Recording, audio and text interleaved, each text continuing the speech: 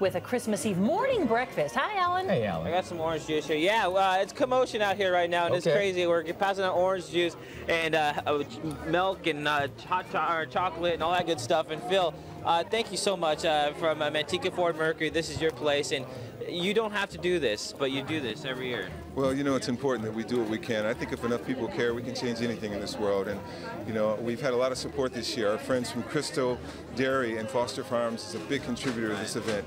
And uh, we're just really blessed to be able to serve our community. Uh, now this is open to you know the people you've been promoting it just you know throughout throughout the, the like in the local newspapers, Manteca Bulletin, like that. Last year you had 1,500 people. That's we a- did. We had a line going outside the door around the corner. So, um, you know, the, word the word spreads pretty quickly. But what's really neat here is every kid that's here will have an opportunity to have a great meal along with their family, and then they have a chance to meet Santa. You meet Santa, and then you get to take a picture with Santa and Take a picture with Santa. You keep that as a keepsake. We'll give you the picture right on the spot. And also, uh, the kids will have a, an opportunity to get an unwrapped toy that's age appropriate. Oh, that is so much. Fun. Yeah, I saw I saw the toys back there, and now let me tell you, I saw football, and I saw a lot of cool like uh, little transformers and things like that. bikes, we got all kind of Oh, stuff. that is so cool. And you know, I'd be remiss if I didn't mention that, that Walgreens is a big supporter. They gave us the gift of health. So everybody who comes out, they have an opportunity to get a free flu shot. So um, you know, we're really, really lucky that Free uh, our flu shot. That is so. I mean, this is something that obviously everyone's uh, super excited about, and the food smells so good. I know. I can't wait. I'm going to be the last one to eat, but I, I can't wait. That's okay. But where do you where did you find uh, like all these people to volunteer? Because a lot of people volunteering today. They are, you know, the people in, in Manteca and the, and the Central Valley are so gracious. They heard about the event that we're doing and they came out and they said, hey, we just want to give a hand. So um, we appreciate the support of everybody, the community, and, and really, this is. Uh, Yeah, this a lot of smiling faces, and it's not too cold outside, so they're they're, they're okay right now. Even though they have heat lamps out there. Absolutely. You know, thank God that the weather today, Yeah. through the grace of God, that it is beautiful. I mean, the Oh. sun is out and the smiles are up, and you know, when the uh, praises go up, the blessings come down, and we have a lot of blessings today. Uh, I appreciate it. Well, we, we got to get back to work here because we got some hot chocolate, I mean, some chocolate and some oranges passed out. Coming up, we're going to go check out how they distribute all the toys uh, to the kids. Just a real, I love this time of the season because you get uh, smiles and you get a lot of orange juice. Do you need an orange juice? Do you need Yeah, that's milk? exactly what orange uh, milk. the holiday spirit's Do you need about. orange juice, chocolate milk. some more Here you go. orange juice. Good for you, man. Thank you, Alan. Check back in with you a little bit later on in Manteca. Oh, I love when kids show up. How fun. Beautiful time out here in Manteca, Manteca Ford Mercury. I mean, thank you so much, Phil, for hosting this. I mean, and having us come by for this because it's just a beautiful time out here. Now, uh, Santa's here, of course. All those toys Santa and people from the community and yourself have put together. Uh, what a great time! And they had their breakfast this morning. Now, what's going on in here? Well, now they have a chance to meet Santa, and every kid that's 12 and under will receive an unwrapped toy. So it's a great, it's a great event that we're doing, and you know we're so uh, blessed to have the community come together because it really takes a village to raise a child, and to have the, the city of Manteca help us with this event, uh, it's just amazing. Look at the people that are here. I mean, a lot of smiling faces. Uh, and that's what it's all hundreds, hundreds of people, and they are all smiling. It's just a beautiful weather, and everyone's just happy. And not only a lot of volunteers, but your family has volunteered their time. They have, they have. It's part of our, it's a tradition that we've um, been doing for years now. This is our fifth year doing this. Um, again, so many great support. Walgreens, we have a free uh, clinic here for anybody who needs a flu shot. It's free. Come on down and um, we'll take care of you there. Um, and so many supporters. Uh, Shea Cherie, which is a, part of the golf course, they donated um, a lot of the food, and they're preparing the food and they're transporting it over to feed the uh, the people. that It we have. was good food. I haven't got to lie, but I know I saw a lot of uh, happy people out there, and, uh, a lot of happy kids, especially when you see all these great toys that they're getting. I see basketball out there. there. I see uh, dolls. I see uh, I see a bike out there. I see a lot of uh, teddy bears out there. It's just uh, something for everyone to be a part of it, especially because it's honest, honest to God truth. This is probably some of their only presents they're going to get this year. Some of these kids. You know, that may be the case, and, and I know that our economy is going to bounce back. It's, it's going to turn around, and I'm very confident in that. And um, I, again, I'm just so overwhelmed with the amount of support that we continue to get with this event. Um, there's so many great people. I, I can't thank everybody enough. Um, um, and it's a lot. Of, I just feel you feel the, the Christmas season here is all about just giving back, and that's what you have been doing. And uh, what a uh, great location! Again, we're off, off of uh, Main Street. Come by and say hi. You can say hi to Santa if you can get room, because there are so many people out here who are uh, getting ready to get a toy out here. And then uh, let me see. Maybe I can get into. We're, we're gonna see if we can get the, this picture in. Let's see what this uh, boy picks. Oh, all right, smiling. Good smile. That's an A plus smile. Okay. Did he get it in? Okay. Now what toy is he gonna get? What does? What's the toy of choice for you? What do you think? What do you He's think? overwhelmed That right one now. back there? Oh, wow. Okay, look what he's going to get. He's going to get, go ahead and toss that. Look at this, a remote control car for you. Look at how happy. Yes, yay! Yeah. I love it. Awesome. Uh, Spirit is out here in uh, Manteca. Thank you so much. I'm going to take Minnie with me. We're going to go dancing. I'll see you guys later. Um, uh, all right. Nice. Nice work, son.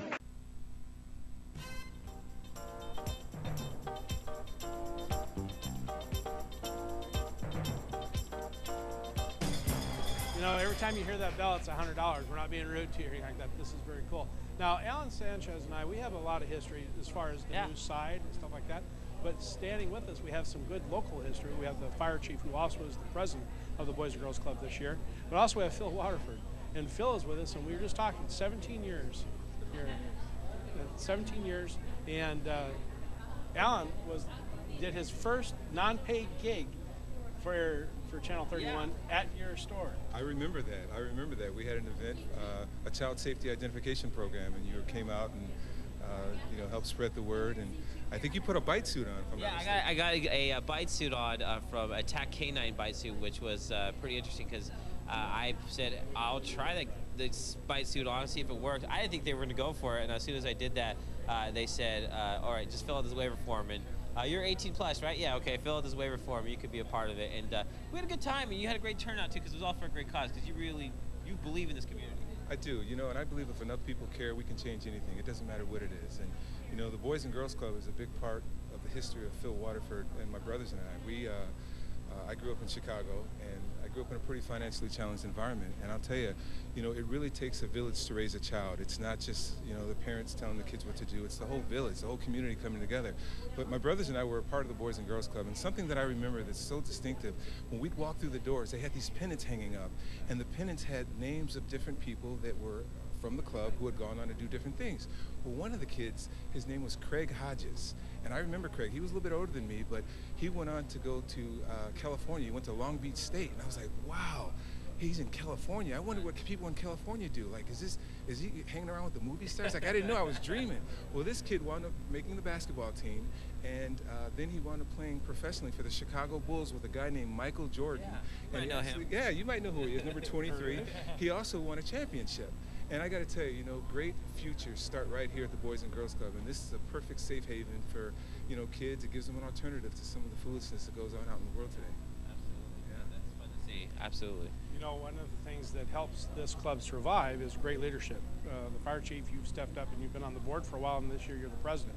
And to have great community colleagues and partners like Phil has got to make your heart feel good. Oh, absolutely. I, you know, as a, a leader in the community, as a fire chief, I get the opportunity to see um, generous people what they do for for um, the community. And Phil, you know, not only for the Boys and Girls Club, but is just generous um, for the entire city. So much appreciated.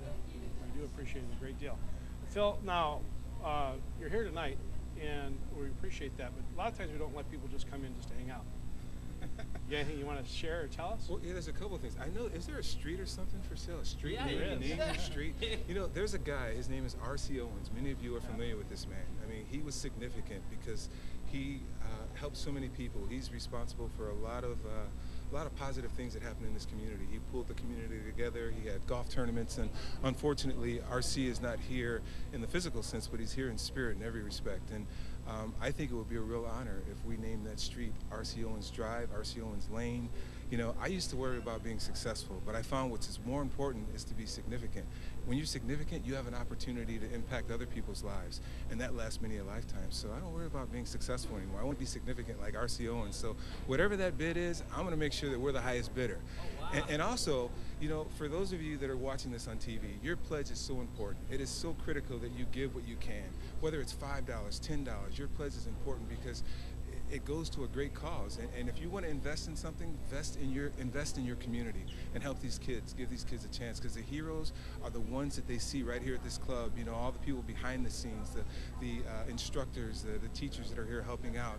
Um, most of these kids will never meet some of these professional athletes and entertainers, but they'll meet the kids right, or the the uh, people right in their own city block. And we have a lot of great community leaders here. You know, This guy here, he gets it. This guy, he gets it. You know, Dennis Wyatt. We got a lot of wonderful people here that uh, make a difference and that are significant. So uh, it's an honor for me to be here. I have something pretty significant that I'm going to give out. Uh, I don't know if I should do it now. I would. I would. We're here. Okay, all right. Well- Everybody's waiting and Uh-oh, I see. see So that on behalf of Phil Waterford's Manteca Ford and Exotic Highline, we have a check that we want to give. And um, actually, you know, we're going to increase this a little bit. Um, this check is for $7,000, but uh, I think we're going to increase that. Let's make it $10,000. Ten thousand dollars, people. Ten thousand dollars. Wow, that Uh, you know what? It- I'm sweating. I'm so excited. That's pretty cool, huh? That is so awesome.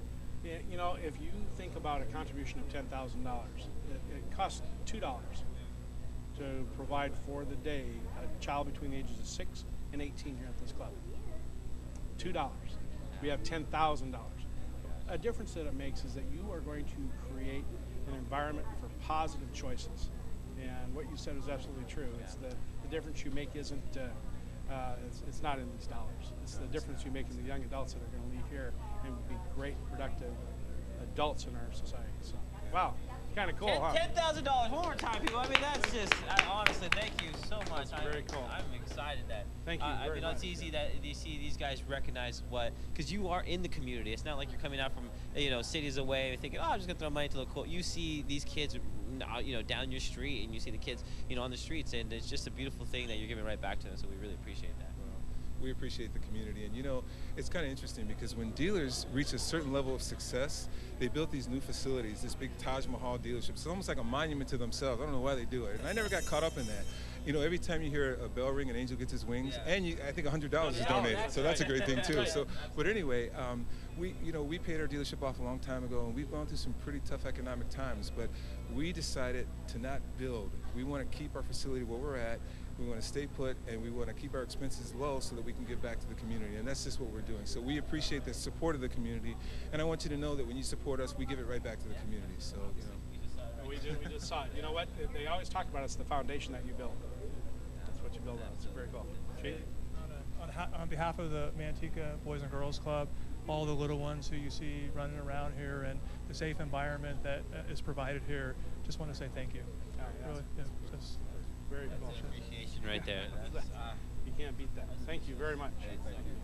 Well, there you go, folks. That was that's Phil Waterford, who is uh, from Phil Waterford Ford Mercury in North Main Street, and our fire chief here. But why don't you announce? This does not include your money. Yeah. Our current, our new total up here. And they're gonna once they total. show it up on here, we'll tell people what it is.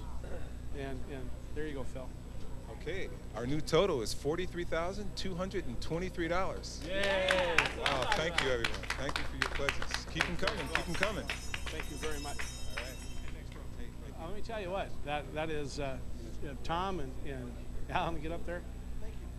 Ten thousand dollars. That's not too bad, and and that you can tell that ten thousand dollars in today's economy is a difficult thing to do, and with Phil stepping up to say that his dealership and his employees and all of his customers are contributing to the Boys and Girls Club. Uh, Ten thousand bucks, very cool. So now I'm going to hand it off to two of my buddies back here. We got Tom and Alan. No, no, no, I'm fine. All right, I'll move out of the way. But Wow, we were just looking at each other saying ten thousand dollars. That is, That is just so great. exciting. Phil Waterford. I mean, obviously, a man like that, he, he doesn't have to do it. He's done many, many thousands of dollars before. Uh, no one would blame him You should put he ten thousand right here on name of the street. seriously because he should be getting that here.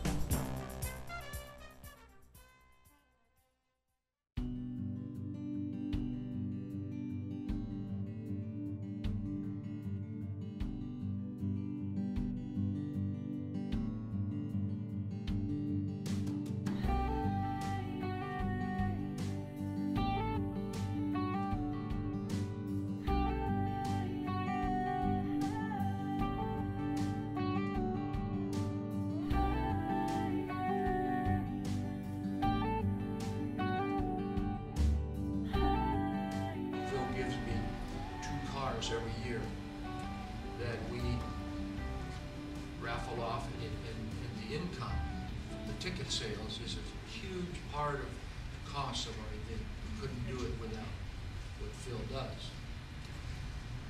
But I was flabbergasted when Phil, he brought a pickup truck out to the, to the yard. He always brings a few vehicles to show them off. But when he told me that that truck was mine, that he, he ha- handed me the keys to thank me for, for the work that I do, I lost my uh, equilibrium. right on the floor. I did, I lost it. Wow. Um, you know, that's the only one that we had on the lot. And I wanted the best truck that we had for the best man that supports this country, that supports our veterans, that I've never seen anybody with a passion for our country and the dedication uh, to our armed forces uh, as yourself. And I, I just, you know, you're so deserving of it, Pastor Mike. Um, we love you. We love the work that you've done and that you continue to do. I mean, you're committed. Uh, people don't know what it takes to put on this event. but this man, he has dedicated his life. When I talk about being successful and significant, you have to ask yourself this question. If you didn't show up, who would miss you and why? If you didn't go home, who would miss you and why? The people that add value to other people's lives are the ones that are significant. And this man here, and Susan, uh, I'd be remiss if I didn't mention Susan, they add so much value to the lives of the people in this community and their inspirations, not only for me and, uh, but really for America. But again, it was just such an honor to um, to uh, to uh, provide this this wonderful automobile to a wonderful. But what's really amazing about everything is, you know, there were only 250 tickets that were sold for each car. The odds of winning, obviously, are 1 in 250. And that's actually pretty good odds. It's better than a lot. But, uh, you know, some of my friends, they, they to support the cause, they bought multiple tickets, 20, 30 tickets at a time. So really what they did is they increased their chances of winning. And in a weird way, I kind of was hoping they would win because, you know, they support the cause so much and they really increased their odds. So, you know, I kind of really expected I was going to pick their name out. Well, on the day of the uh, event, we put a name out and it said Susan Fury and from Stockton.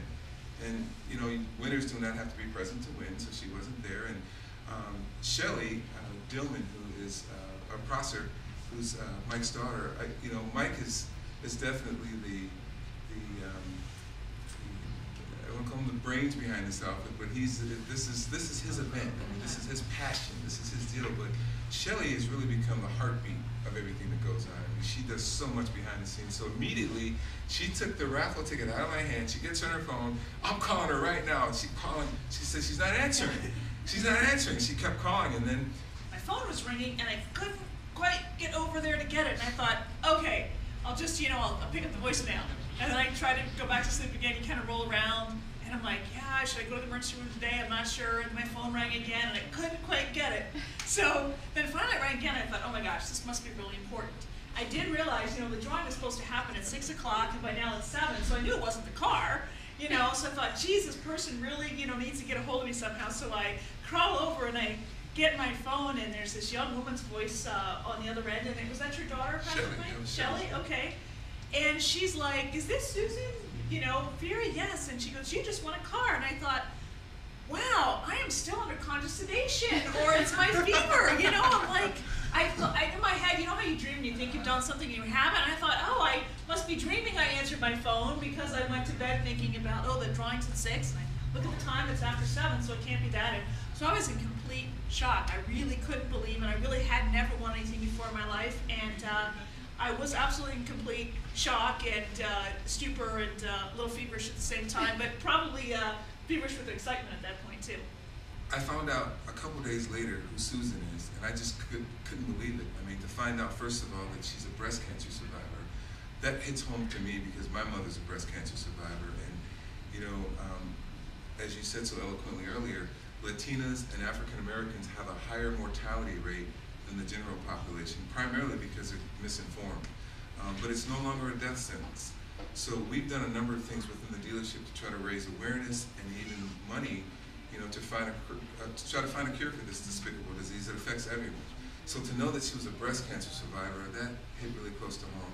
Then to find out that she is a disabled veteran, that she served in Desert Storm, that she only purchased one ticket, has never really won anything in her life, uh, has a prosthetic, walks with a cane. Um, I was like, you gotta be kidding me. U.S. Army. And to top it off, she drives a 1993 Ford Festiva and she wins a 2012 Ford Fiesta. I mean, are you kidding me? I mean, my prayer was in the end that whoever wins this car would be somebody who really needs it and deserves it. And I gotta tell you, our prayers were answered. I see your old car is here, and how long did you have this car? I'm actually the second owner. A lady had passed away in Stockton, and I needed a car to commute. You know, I, I was so blessed. I used my GI Bill to buy a home out in Stockton. And uh, it was one of those situations where they're like, okay, you can afford a home up to this much, and it was that much, like plus a dollar. So it's like, woo! So you have the home, you know, you don't know how you can make the payment or the two-hour drive to go work with our wounded in Palo Alto. On top of that, at the time I had a eight-cylinder Jeep Grand Cherokee, and I'm like, it's not going to work so well. And back then the gas was $1.55. That was in 2000. So anyway, I said a prayer, and I opened up the. I happened to bring the penny saver with me. I was in Mountain View. Opened it up, and here was this Ford Festiva. And I'm like, oh my gosh, Ford Festiva. Because when I was on active duty, I had a silver Ford Festiva. And when I came back from the war, I called it, I was familiar with Scuds shooting across the air, so I called it the uh, Silver Scud. And uh, and I, I, I, gave that to my first sergeant when I left, and, and he called me five years later and said he was still driving it. Um, he had moved out to Fort Lewis, Washington, and uh, and so then I, I really love uh, Ford products. I, I love my Festiva after my injury, uh, my family, literally my brother took the Festiva and locked it away. He took it to a truck yard and hid it, and I cried and whined so bad that once I could almost do the clutch again, um, they let me have it back again. Um, I just love it, and it's, it's my car. And um, it's been such a great runner, it's a great product, and um, I was just uh, shocked to find out I actually won a, a Ford Fiesta. And also my grandfather, he's a World War II veteran, and uh, he loves Fords. He drove, he was 12, and he drove his grandfather's Model T Ford. And when I was a young girl, I thought that meant that I should start driving at 12. And my mom said that was not the point of that story. and so today, my grandmother, my grandfather's passed away. Before he died, he made sure he bought her a brand new Ford Taurus. So, so. It's such a, an honor to, to know Susan and to know her story. She's been such an inspiration, not only to uh, to me and my family, but to our community and everybody who hears this amazing story. Um, so it's uh, it really is with honor that uh, we, we, present this 2012 Ford uh, Fiesta to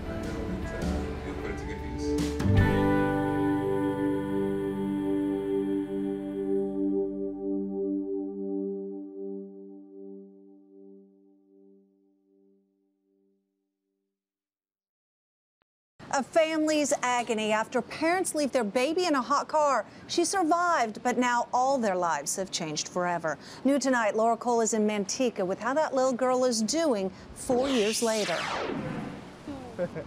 Most parents never think it'll happen to them. Justin Marson's four year old Sarah Corinne, unable to walk, unable to talk. We're reminded of the loss each and every day of the things that she's not able to do now. In 2008, the family had just returned home from a funeral, and in the process of getting out of the car, Sarah Corinne was left in the hot vehicle for three hours. She was only nine months old. It's a simple miscommunication. It's not anything that was you know, intentional. Her core temperature was 107. Doctors didn't think she'd make it. Sarah Corinne's recovery has been long. She has some residual brain damage, and she can't do things most four year olds can do. But instead of focusing on the negative, they're choosing to use this experience to educate. And the family brought their message here to Manteca Ford, using thermometers to show people just how hot it can get in a closed car. And the results have been positive. He says most customers seem willing to listen. Even in the shade, it's still 107. 107 degrees inside the vehicle. And he hopes his biggest life lesson will serve as a lesson to others, so no child ever suffers the same way Sarah Corinne has. The family is hoping to send Sarah Corinne to a treatment center in Toronto, Canada. Manteca Ford is donating $200 from every car they sell for the next week to help pay for her treatment. Mm. Thank you, Christina. And with the heat that we just heard about, it's a lot to think about, especially if you've got kids. In fact, this week alone, because the heat wave is all across the nation, really, eight kids have died after they were left in hot cars. Last week, we introduced you to Sarah, a four-year-old little girl who suffered some brain damage when she was accidentally left in her family's minivan. Sarah Corinne hopes to go for a four-week treatment program. That's in Toronto. It is going to be incredibly expensive, though. That's where Phil Waterford of Manteca Ford has stepped in to help here. $200 from every vehicle he says that they sell at Manteca Ford is going to help Sarah Corinne's treatment. Photojournalist Larry Mukowski captured how a Manteca car dealership is now going to help this little girl get the treatment she needs so badly. Uh, while Sarah Corinne was taking a nap in the back seat, we each thought the other was going to bring her inside to finish her nap. Three hours later, we rushed out to the car, and she was clinging to life, really, very shallow breaths, and the doctors really only gave her three days to live. For a little girl, Sarah Corinne, um, isn't this girl beautiful? Look at her. Phil was helping out uh, to raise some money for Sarah Corinne to go to her treatment, uh, to the life treatment program in Toronto. So many people have been so gracious. They come in with donations, $20, $10. How did you hear about this? I saw her on TV the other day. I saw her on TV. Every little bit counts. And the total has grown since then. And uh, we just want to say we appreciate. This here is the total amount that was generated for Sarah Corinne. You know, we asked for something and we started to receive it. And I think that as long as we can continue to do that, people will help. There are a lot of good people out there that want to make a difference, and they've proven that. The generosity of the people here in Manteca and across Northern California, um, it's something that you really can't put into words, but to, but to be able to take Sarah Corinne to Toronto to this treatment program, we really believe that she's going to benefit from this greatly. And that treatment is very, very expensive. Uh, they say if it succeeds, though, and it is expected to, she is going to succeed in kindergarten. And she already started kindergarten. Her classes started last week. Good for her. A sobering heads up here tonight as the region gets ready for the late summer heat wave. A Manteca father is warning parents about the dangers of leaving children in the car. The night team's Chris Riva tells us that dad hopes that his mistake can save others. Is that funny?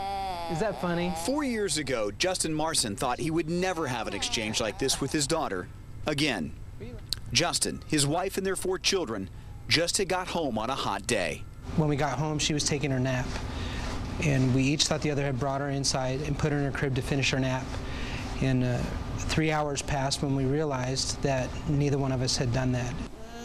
Sarah Corinne was barely alive, suffering from a heat stroke and organ failure. We wrapped a wet towel, cold wet towel around her to try to, to uh, decrease her temperature. And while she was in my arms, I had this overwhelming feeling of, I can't believe she's going to die in my arms. Doctors told Justin and his wife she would live three days. While she recovered from organ failure, she did suffer brain damage. This really can happen to good parents. Into the evening hours, it is still around 90 degrees here in Manteca, but inside this vehicle, it's 110 degrees. If a child were inside, it would be only a matter of minutes before it would be a life or death situation. Which is why Justin wants to tell his story, so another parent does not endure what his family has. And so I believe that I have a responsibility to not only my daughter and my family, but other kids of responsible parents. In Manteca, Chris Riva, KCRA 319. Your heart just goes out to that family. Sarah Corinne is still going through a lot of rehabilitation right now. When the Manteca Ford dealership heard about the family's story, they decided to donate some of their proceeds to help pay for her therapy.